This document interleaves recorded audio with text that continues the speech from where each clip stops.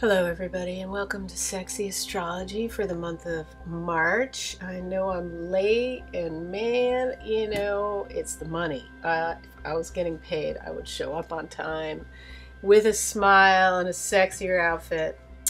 But anyway, I was prompted by one of my art friends. Where the hell are you, man? Oh, yeah, right, right, right, right. Here I am. So, anyway, little encouragement works too, people. So, if you want me to post regularly, give me comments, throw me a dollar bill every now and then on sexyastrology.com. Um, anyway, so month of March 2013. I know it's already passed. I was taking a class the Upright Citizens Brigade because I figure, you know, the art business isn't working out, so I should just do comedy, you know, and I'm I'm dead serious when I say that. Cuz I'm funny. And uh, yeah, so I've been thinking about Tebow. I still love Tebow. You know, I have like four or five of these Jets shirts. And man, I just really loved that Tebow was such a fucking Bible thumping, Christ loving hippie, 240 pounds, and you know, he got kicked off the Jets. I mean, but I just know what he is going to be doing. You know what he's going to be doing, right?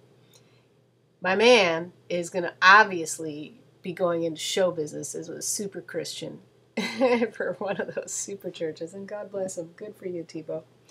I bet you. Maybe he'll be teaching sports. Who knows? Maybe he'll become a vet, right? Anyway, for the month of March 2013, uh, it's the month of matching, matching energy. Oh, you did this? I did that. Oh, you like Spider Man? I like Spider Man. See? Right there, Spider Man.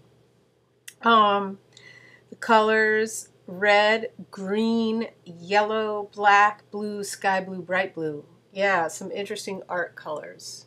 Um, heavy month for a lot of people. Anyway, hello, dear Gemini. You're having so much fun.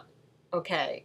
All things writing, expanding, communicating, writing prop proposals finishing writing projects. Yeah! Fuck yeah! I tell you what,